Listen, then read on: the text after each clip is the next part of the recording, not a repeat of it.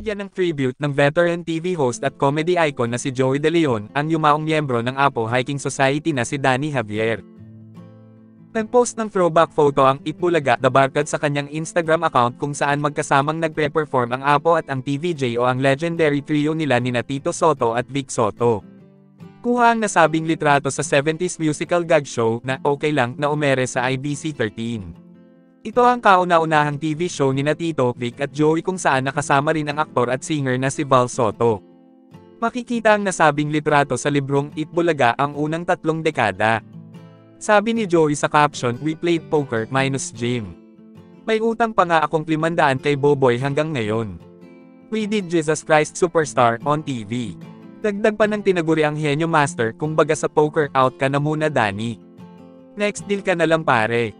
Rest in peace sounds like bets please. Minsan ding nagkatapat sa telebisyon ng Itbulaga ng TVJ at sang linggo na po sila ng Apo Hiking Society. Minsan mang naging magkalaban ang kanilang mga programa noon, hindi nawawala ang respeto ni Joey De Leon sa namaalam ng OPM icon na si Danny Javier. Samantala, walang namang kinasangkot ang away o suma ng loob ang mga miyembro ng Apo Hiking Society na sina Danny Javier, Jim Paredes at Boboy Garvillo. Hindi totoo ang iniisip ng mga tao na nag-retire noong 2010 ang OPM legend, makalipas ang mahigit apat na dekadang pamamayagpag sa entertainment industry. Yan ang siniguro ng yumaong singer-songwriter na si Danny Javier sa 2016 interview ng Kapuso Mo, Jessica Soho, sa kanya.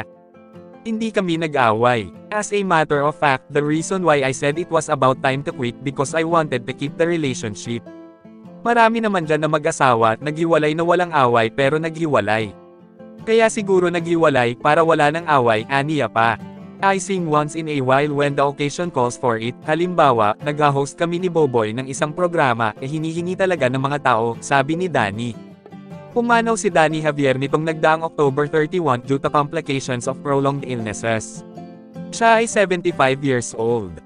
Kahapon na cremate na ang kanyang labi sa Heritage Park, Taguig City pagkatapos ng huling miss ang dinaluhan ng pamilya at malalapit na kaibigan. Isa sa mga nagbigay ng huling pagpupugay sa yumaong OPM legend ay si dating Pangulong Rodrigo Duterte. Naroon din sina Boboy Guy Rovillo at Jim Paredes. Kwento ni Boboy, I sang to him the Beatles song Two of Us. Mensahe naman ni Jim, I said I love you bro, then he pressed my hand hard and long. Sa November 8, nakatakda ang inurnment ng labi ni Danny sa Heritage Park, Taguig City.